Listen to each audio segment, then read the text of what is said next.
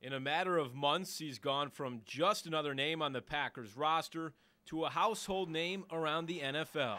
When these playoffs and the Super Bowl is completed, everybody in the, in the country is going to know who Tramon Williams is. There was a time when very few knew who Tramon Williams is.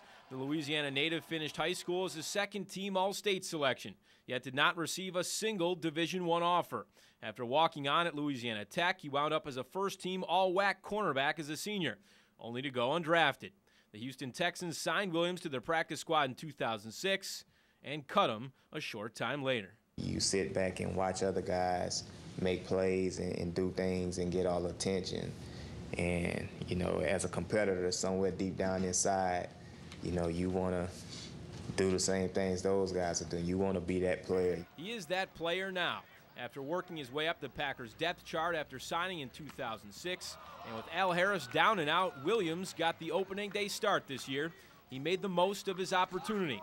He finished with six interceptions in the regular season. He's added three more in the postseason, including a game clincher against the Eagles and a game changer against the Falcons.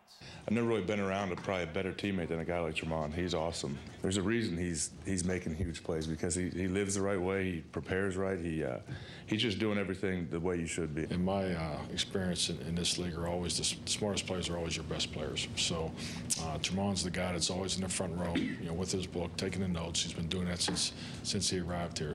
After class, the man with two college degrees takes his book and his computer, heads home and studies. He spends three hours a night looking at film, sometimes as late as 1 a.m. I've learned a new way to study, and that's what I'm basing my, my studies off this year. It's different ways. I study about three different ways, and each way you learn something different, and that's that's what's been helping me out.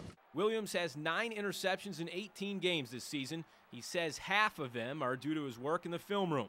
He admitted to recognizing and jumping routes in a game against Minnesota and Brett Favre in November, and again last week against Matt Ryan and the Falcons.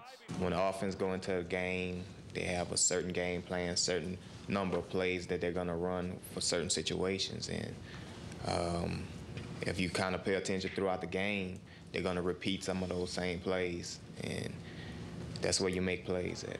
After years of being overlooked, Williams is finally getting noticed, whether he likes it or not. I think we have lots of guys on the defense that can make those plays. You know, I think I've just been put in that position the last couple weeks and made those plays for my teammates. So I don't really see it as a big deal.